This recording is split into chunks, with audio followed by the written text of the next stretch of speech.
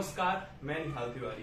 तो आज हम लोग ये बात करने वाले हैं कि स्पीड ऑफ़ लाइट को हम लोगों ने एक्चुअल में कैलकुलेट कैसे किया गया था। तो देखिए एक टाइम ऐसा था पहले कि हम लोग ये मानते थे कि स्पीड ऑफ़ लाइट जो है वो इनफाइनाइट है। मतलब यूनिवर्स में किसी एक पॉइंट से किसी दूसरे पॉइंट तक लाइट को ट्रैवल करने में कोई भी टाइम डिले नहीं होता इंस्टेंटली ट्रैवल करती है। फिर बाद में टाइम ऐसा है जब हम लोगों ने ये माना शुरू किया कि नहीं स्पीड ऑफ़ लाइट भी फाइनाइट है। अब वो कैसे हुआ इस बारे में तो मैं डिटेल में नहीं जाऊँगा भी वरना वीडियो बहुत लंबा हो जाएगा।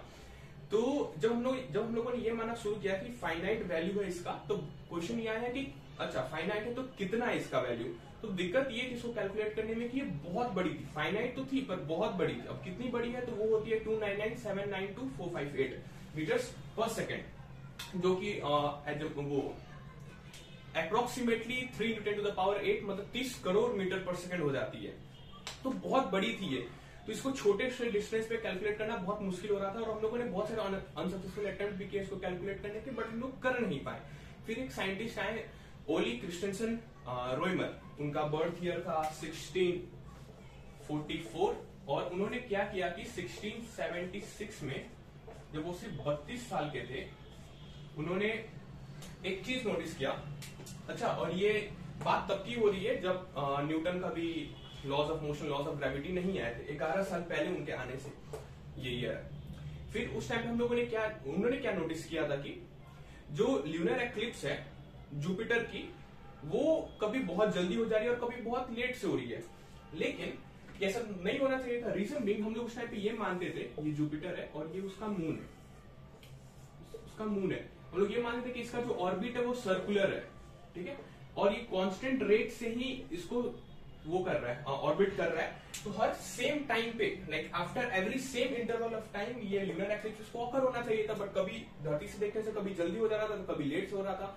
तो फिर उन्होंने इसी चीज़ को देख के कंक्लूड किया था स्पीड ऑफ़ लाइट ठीक है? अब वो कैसे किया था, उस बारे में अपन देखने वाले हैं।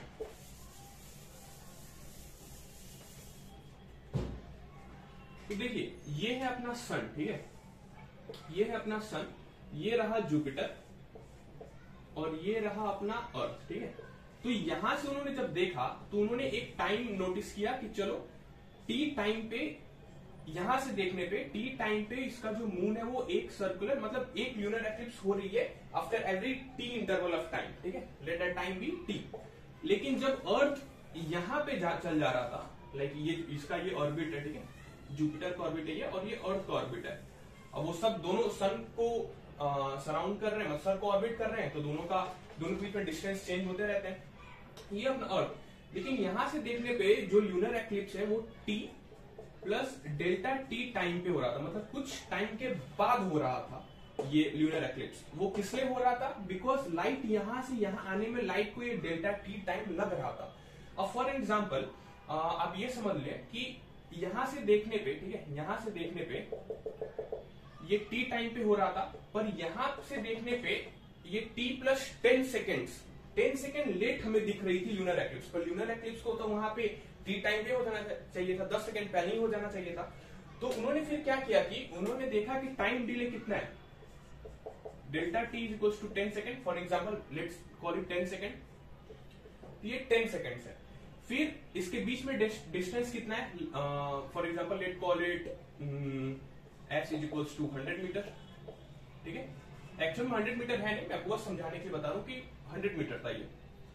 फिर उन्होंने क्या देखा कि ठीक है, दस सेकेंड लग रहा है हंड्रेड मीटर लाइट को ट्रेवल करने में। फिर अपने को फॉर्मूला पता है speed is equals to distance upon time तो यहाँ से अगर अपन इसको पुट करें तो hundred upon ten is equal to ten metre per second तो ऐसे ही करके उन्होंने स्पीड ऑफ़ लाइट को कैलकुलेट किया था। अब उन्होंने यहाँ पे 100 और 10 वैल्यू नहीं यूज़ किया था, ये तो हम लोगों ने बस ऐसे ही यूज़ किया था for the sake of conversation अच्छा और उन्होंने एक्चुअल वैल्यू यूज़ किया था तो फिर ये स्पीड ऑफ़ लाइट आई हुई थी। और फिर उन्होंने जो स्पीड ऑफ़ लाइट कैलकुलेट किया था that was one lakh forty thousand miles per second ठीक है? लेकिन एक्चुअल इसमें भी कुछ एरर्स थे, लेकिन मॉडर्न टाइम में अभी जो हम लोगों ने इलेक्ट्रोमैग्नेटिज्म का यूज़ करके जो हमने स्पीड ऑफ़ लाइट कैलकुलेट किया है, वो है one lakh forty six thousand miles per second मतलब सिर्फ़ सेकेंड मतलब सिर्फ़ फोर्टी सिक्स थाउज़ेंड सिर्फ़ forty six thousand miles per second का डिफरेंस था, ठीक है? ये डिफरेंस काफ़ी छोटा है उस टाइम इसलिए नहीं हुआ बिकॉज़ न्यूटन की थ्योरी भी नहीं है, हमें नहीं भी पता था कि जो ऑर्बिट है वो इलिप्टिकल है प्लस हमें radius of earth distance between earth और जुपिटर उतना हमें एक्यूरेटली नहीं पता था तो उन्होंने किया था, पर फिर भी यही वो टाइम था जहाँ से हम लोगों ने लाइक बहुत हम लोग पास पहुँच गए। बहुत इंप्रेसिव उनका ऑब्जर्वेशन था, ओली क्रिस्टेंसन रोइमर का।